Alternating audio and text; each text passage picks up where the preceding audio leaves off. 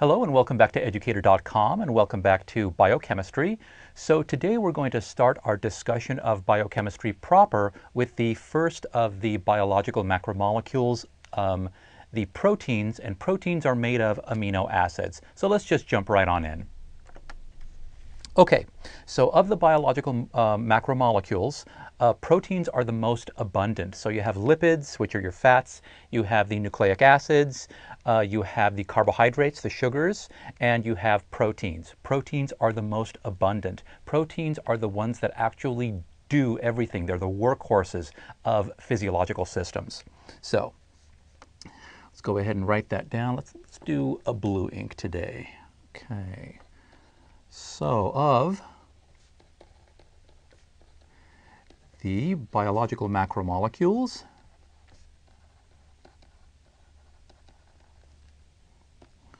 molecules proteins are the most abundant and the most diverse.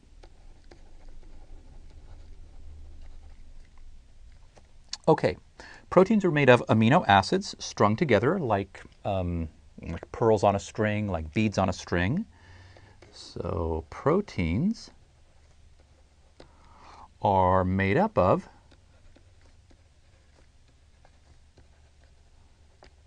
amino acids strung together. That's it. That's all a protein is.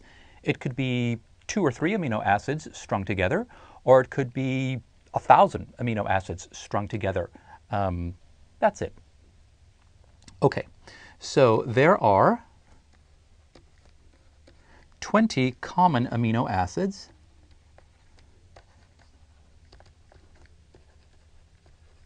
Twenty common amino acids that make up the majority of proteins. That make up, well, they make up all the proteins, but I'll go ahead and just write the majority because that's the way I have it written that make up the majority of proteins. Okay, all, all 20 are actually called alpha amino acids.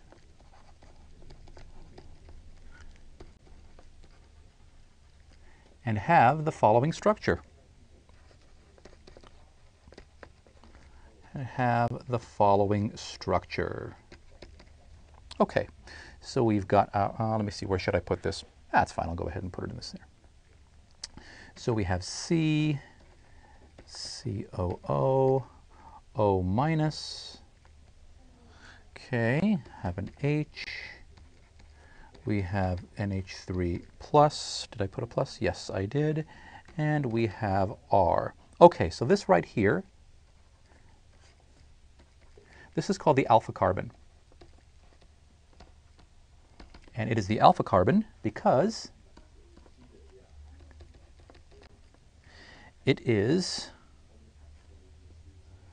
the, well, okay, it is the C that's attached to the carbonyl group.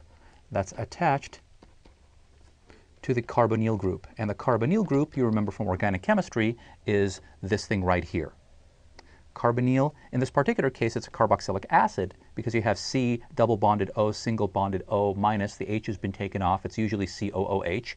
And we'll talk about why I wrote the minus and the plus here a little bit later. Um, but that's it. So it's called the alpha carbon. So the alpha carbon is not the first carbon in the chain. The first carbon is the carbon of the carbonyl, 1, 2, and if there are others. But the alpha carbon is the one that's actually attached to the carbonyl carbon. So it's very, very important to distinguish that. And we'll talk a little bit more about that when we get into larger molecules and things like that, when we talk about alpha, beta, gamma, delta, things like that. Okay, so the only thing now, the only thing that is different from one amino acid to the next, the only thing that is different from one amino acid to the next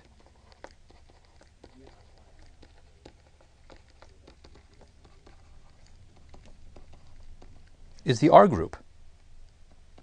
Is this thing right here. That's the only thing that's different. Everything else is actually still the same.